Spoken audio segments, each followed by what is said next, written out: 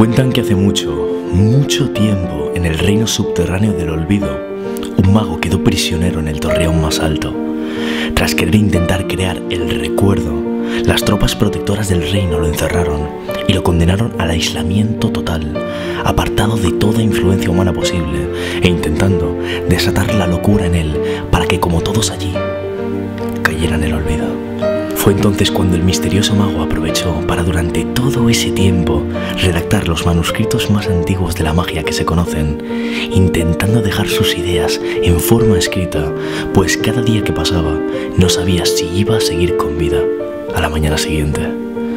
Cada uno de los libros que escribió fue escondido en un lugar del torreón y con el tiempo otras civilizaciones los fueron encontrando e interpretando. Algunos de ellos fueron quemados por ser incomprendidos en aquel momento. Otros trazaron las bases de lo que posteriormente sería el ilusionismo tal y como lo conocemos hoy. ¿Sabéis? Nadie supo jamás la identidad de ese mago, ni quién era, ni de dónde venía, ni cómo ni cuándo desapareció. Nada, solo un recuerdo remanente en las mentes de algunos humanos se repite como el eco danzante a lo largo del paso de los años. Pues ese mago no estuvo solo en su letargo, sino acompañado de alguien, o más bien, de algo. Y es que en su muñeca izquierda llevo siempre puesto un brazalete plateado, signo de su enlace permanente con la magia, signo de la unión perfecta con su instrumento, la baraja. Hay quien dice incluso que era el propio brazalete el que le daba los poderes, el que le daba la inspiración, las ideas, y que sin él no era más que un mero mortal. Cuentan que antes de desaparecer realizó un último hechizo, su última gran obra, anunciando que tras su muerte diez serían los elegidos para llevar un brazalete como el suyo, diez magos aún por definir. Pero había trampa, y es que no sería el mago quien llegase a la pulsera mágica, sino la pulsera mágica la que llegase al mago, apareciendo en su muñeca únicamente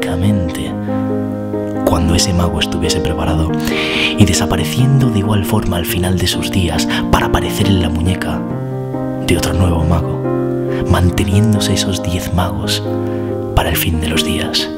Pues esa y solo esa sería la forma para que el arte de la magia nunca muriese la de asegurarse que como mínimo existirían siempre en la tierra diez magos dispuestos a crear arte e ilusión en las personas y así que el recuerdo de lo que había sido una magia incomprendida en su época, junto con sus escritos, viviesen eternamente.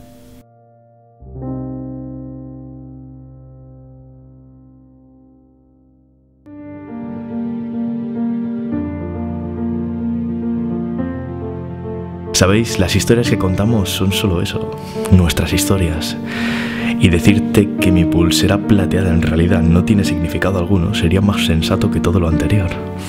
Pero sabéis, el significado no se lo he dado yo, sino vosotros. Cada vez que me habéis visto con ella, y en persona y con ojos ilusionados, me habéis preguntado, Miquel, ¿qué significa? Significa nada y significa todo. Es la historia y el recuerdo que hay tras un objeto, lo que forja su significado para ti. Es el tiempo que pasas con tu rosa, como diría San Exupéry, el que la hace tan importante, el que hace que, aunque existan millones en el mundo, sea justo esa rosa que sostienes en tu mano, única y especial. Son los momentos que pasas con alguien, aquellos que permanecen, aunque sean breves. Pero claro, algunas historias son mentiras, nunca ocurrieron, son meras leyendas. ¿Por qué siguen entonces vivas? Decía René Lavant que la única misión del artista era convencer al público de la verdad de su mentira. Yo digo que una mentira pasa a ser arte e inspiración cuando crea un todo que te emociona y te transforma, cuando aún sabiendo que es posible que lo que sucedió no fuese real, tú mismo decides otorgarle ese valor de posible.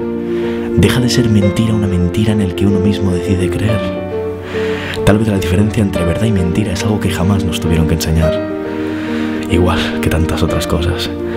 Porque eres tú quien quiere creer, eres tú el primero en esperar que tras el significado de mi pulsera se halle algo extraordinario. Eres tú el que esperas que por favor no sea un simple pedazo de metal, que haya algo más. Eres tú quien decide creer, quien crea el recuerdo. Eres tú quien crea la magia.